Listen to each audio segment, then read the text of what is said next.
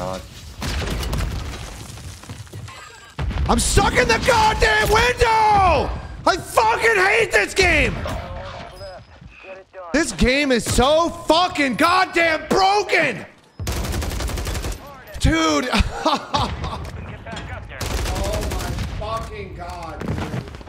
oh. Try, oh, Bob. Dude, I literally am here trying to